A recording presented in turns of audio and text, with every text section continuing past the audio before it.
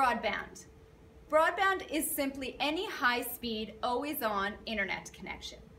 It's different ways that you can connect from your home or your small office to the internet. And there's three main technologies that we use today. There's a cable system, DSL, and wireless.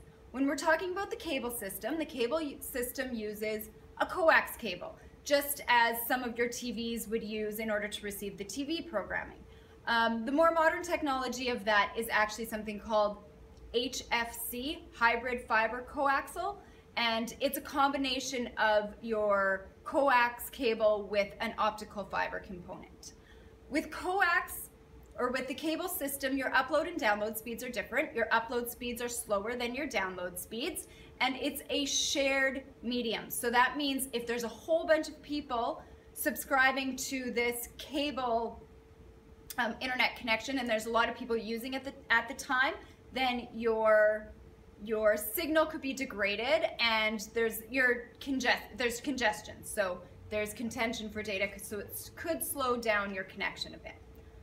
Um, there's a body of knowledge called DOCSIS, Data Over Cable Service Interface Specification, and it's an international standard that outlines the layer one and the layer two stuff for all of your cable communication. Now DSL, different than a cable communication, your DSL stands for Digital Subscriber Line, and it's what connects you to your phone company if you're gonna get your internet connection through your phone company. It transmits your data over copper wires. Now the difference between DSL and, and your cable, um, aside from the medium that it's sent over, is that um, DSL is a dedicated line. So the speed that you're promised is the speed that you get. You're not sharing that medium with anybody else. So even if it's a busy time, that shouldn't affect your, your throughput rates. Um, DSL is distance sensitive. The distance that DSL works is only 5.5 kilometers. After that point, you need a repeater in order to strengthen the signal again. There's two different types of ADSL, asymmetric or ADSL, which means if something's not symmetric, it's different on both sides, right? So ADSL means it's got slower upload rates and faster download rates. The alternative to that is SDSL, which is symmetric DSL, so that means the upload and download rates are the same. So we had cable, we had DSL. One way I like to think of DSL is I think of the D in DSL for dial because you dial a phone. So that always reminds me that that's the one that goes through your, your phone company. Anyways, the third is wireless communication. Now there's, there's different types of wireless communications. There's satellite internet, which is great if you're in a rural area and you don't have access to any other type of, of internet connection, but satellite communication tends to be expensive, so you don't use it unless you need to.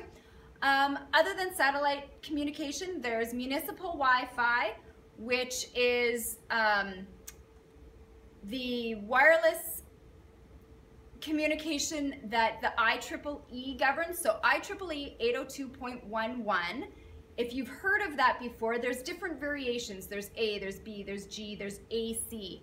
And all of these variations do is just outline different details of the wireless technology that's being used. For example, the bandwidth or the frequency or the data rates that are being used, that's what's different between A and B and G. As technology advances, the IEEE comes up with with faster and better ways to communicate. So that's when you come up with a new letter. So A would have been before B. It's not necessarily in alphabetical order, but that's why there's so many different IEEE 802.11 standards is just as technology advances, they come up with newer and better ways to communicate through Wi-Fi. Now another way to communicate wirelessly is through a technology called WiMAX, and it's very similar to Wi-Fi, but it's bigger and it encompasses more. There's more users, there's further distances, and higher speeds of transmission. Finally, there's cellular or mobile transmission or wireless communication. It's internet access through your cell phone. The most recent type or current technology being used through your mobile technologies is LTE.